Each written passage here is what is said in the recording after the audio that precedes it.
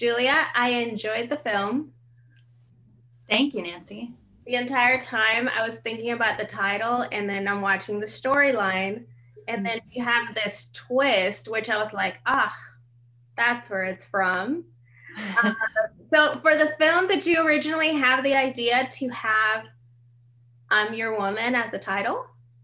Yes. So the um, one of the biggest inspirations for the film was Michael Mann's first film, Thief, and it's actually a line that Tuesday Weld says to James Caan in that film. She says, "I'm your woman and you're my man," and I loved the idea of her going from being this possession in this man's world to belonging to herself in a, a world where she was much more empowered.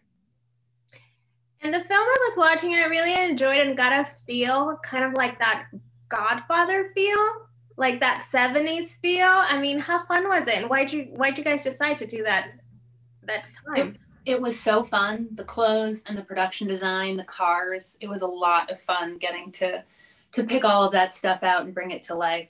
We were just really inspired by movies like The Godfather, you know, that told these man's stories, but with these really interesting women on the periphery. And so we thought it would be really cool to stay inside that time period and inside that genre, but tell the woman's story instead.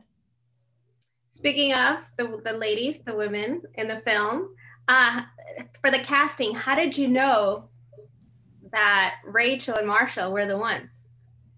Well, Rachel, we cast first. And we just loved my husband and I work together. We write together, and he produces my films and we just really loved her work in House of Cards. And then we saw Mrs. Maisel, which is so completely different, and just thought she was such a talented actor and could bring, you know, because she because you can tell from those other parts that she plays that she is capable of so much strength and and and able to do so much, but was also a good enough actor that she could hide all of that at the beginning of the film. Um, and then Marsha Stephanie is actually an old friend of Rachel's. They had done a play together. And when Rachel first came onto the film, she asked me who I was thinking about for Terry, and I said, you know, I've I've been thinking about a couple of different people, and Rachel was like, Mm-mm, Marsha Stephanie Blake is playing Terry, and I was like, oh okay. and thankfully, Marsha Stephanie agreed, and they have, you know, uh, they're obviously both incredible actors, but I think their real life chemistry really shows up in their performances. Yeah.